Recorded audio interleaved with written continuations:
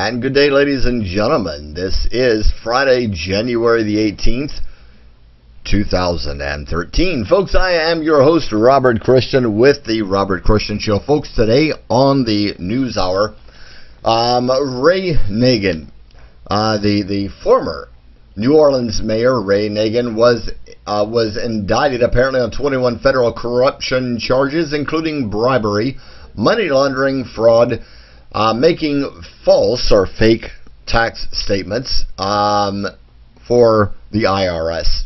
Uh, that is making its news also, and maybe we're going to be getting into some of these other news stories today.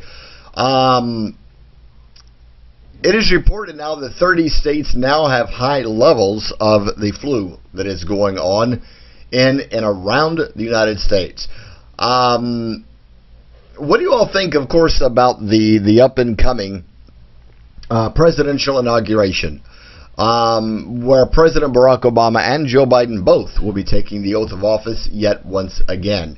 Hillary Clinton is apparently preparing for her farewell. Now, potentially, what do you think? Could she run uh, in 2016 to become the president of the United States and or the vice president of the United States?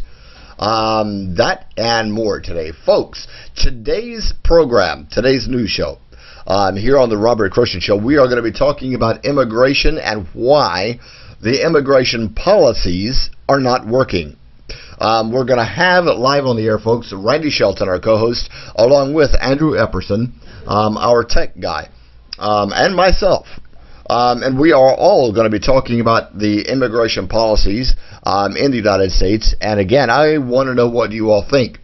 Uh, some folks say that when it comes to the immigration policies in the United States, that it, our, our main concern should be the, the Mexico border and not the Canadian border. Um, maybe we need to be looking at, at, at you know, the who, the what, and the when, and the where when it comes to Mexico uh, and those immigrants coming from Mexico into the United States.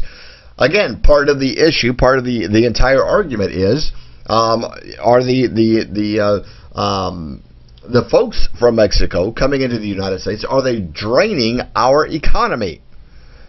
Now, this and more today on the Robert Christian Show. Folks, we are live Monday through Friday. That is weekdays, 3 p.m. Pacific Time, 5 p.m. Central, 6 p.m. Eastern, 2 a.m. Um, Greenwich Mean Time for those in the UK. We do have a good number of folks from the UK that do watch the show, and we welcome you. Um, today's show, folks, it is going to be a hot and a very heavy, heated conversation. But we want we want dialogue not monologue, but dialogue. And we want to encourage you to join us, folks, today, um, of all days. Um, because the subject matter is, is something that I think that is, is, is, is true for the course. Um, maybe the Republicans are against the the, um, the the Mexican immigrants coming into the United States. Maybe it's the Democratic Party. Ah, or is it American issue? What do you think?